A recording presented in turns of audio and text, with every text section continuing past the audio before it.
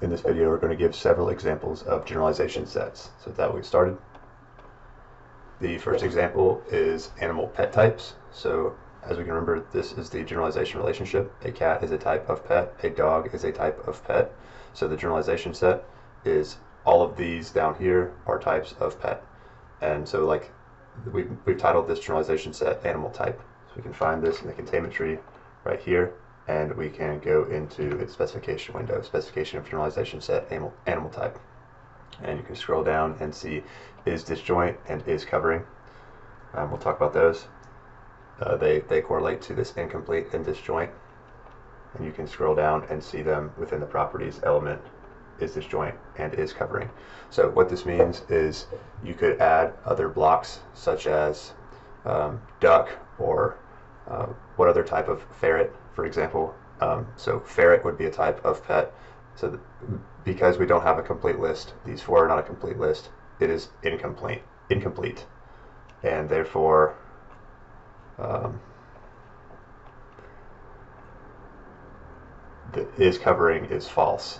So um, and then for the is disjoint, if you had a pet and its name was Lucky, uh, Lucky the pet would either be a dog or it would be a cat or it would be a fish or it would be a ferret, but it can't be both a dog and a cat at the same time. So that's why it is disjoint. All right, the next one is a blood type example. So we'll just jump into that. Um, so we have four different types of blood groups, A, B, AB, and O. And we have positive and negative. Um, so these are both complete and disjoint. And then we have antigens, A antigens, B antigens, or no antigens. Or you could have A antigens and B antigens, such as for like the AB group.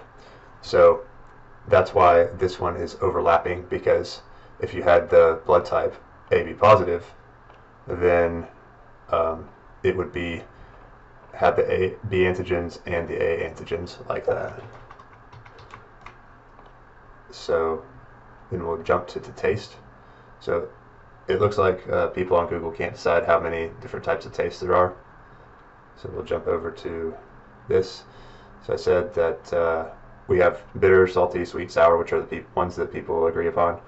Um, but we would say that this is incomplete, as in we could add more, and then, but it is overlapping. You can have a food that would be bitter and salty, or you can have food that is sour and sweet. So that's why it's overlapping there. So this is all of them together. Um, we have our definition of is disjoint and is covering. It is kind of confusing how they have disjoint and overlap all these different terms, but here is the map to explain. So is disjoint is true, is disjoint, is this true is false, and it's overlapping. Is covering is true, then it's complete. Is covering is false, then it's incomplete.